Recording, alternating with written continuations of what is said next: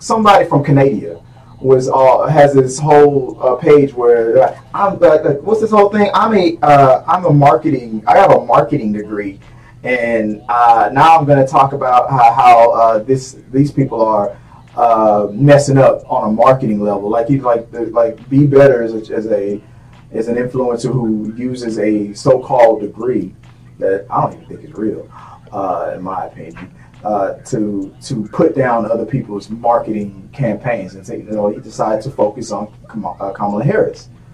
And then it turns out that there might be some you might have got straight up paid to say this by the the Trump administration. There is a direct tie between uh, uh Bee Better and uh, Donald Trump.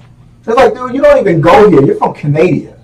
Like, why are you going? To, you on this horrible uh, uh, uh, placard say I got a marketing degree, and I just think that a, a, person that's been running a flawless campaign, all of a sudden, like this is what they did wrong, just attacking her for no. Then it took less.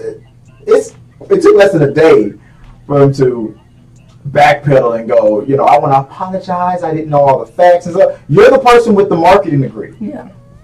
Rule number one is do your do your damn research. How are you gonna uh, brag about your degree, and then the very next video you're like, "I'm sorry, I didn't know. I didn't like that. I'm, I'm sorry, I didn't. I just feel like for me that I feel like it was just uh, like a lot of things was happening. The buttons were too big, and I didn't read the manual. I don't know what a TikTok is. Like it was just a bunch of lame ass excuses. Then they later deleted that apology. Like so, it's like a, you know, it was after it started to come out that because at first the attack was like, how are you gonna uh, just come out of nowhere and attack Kamala Harris like that when she's been running a pretty much what everybody considers a flawless campaign? I, I don't know. This is not this. It's just this whole attack just doesn't make any sense. Then when the backlash uh, came and then, the, then that was the, when the apology came. Then when the investigation hit that there might be a tie to directly to the Trump campaign, then it was like delete all apologies. Just this is going to be another situation where I'm just going to ignore it.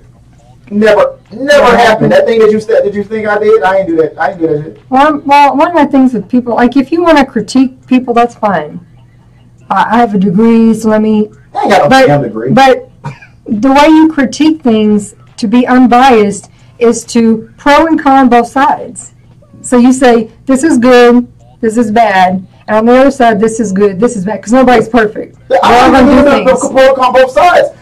Just doing what you said a minute ago, just being like, this is what maybe this But to just come out and be on the attack of it's all trash, everything, and, and it's because I know everything and I'm I have a degree in this. Does not have a degree. I need you to stop saying that. we need to stop spreading this rumor that this person has a degree. Or you claim you do. You have a degree in Canadian. All right, you don't have anything that like like and nothing that Kamala Harris or Trump does is going to affect. Well, technically, I guess it's a global. I don't care. I have a degree in marketing. This is what the, the black woman is just uh, this is blah, blah blah blah blah just out of nowhere, just out of pocket. It just didn't. It just made no damn sense. He ain't got no damn degree. Oh, I mean, what what have we? What has always been, especially for a while now, TikTok and YouTube. I'm just going to say whatever's going to really make people mad because then they're going to watch my videos. I believe that kicking puppies is fun. No, like, right, like yeah, just they, they find a topic. They find that topic that really makes Rage people mad. Yes, yeah, yeah. and then I'm just going to keep making posts about it because they're going to watch it. And then comments, and they're going to interact, and I'm just racking it up. If he wants to do that, he should say something like, "These eyebrows are natural." like I don't believe that's it. Like don't you have to ain't gotta lie. Anyway, let me know what you guys think on on Bee Better. That's that's a funny. I I, I would have known that he was tied to Trump uh, by having the same damn name of Melania Trump's old um, campaign slogan. Be best. That's what it sounded like. Be best. I have a marketing degree. Be best.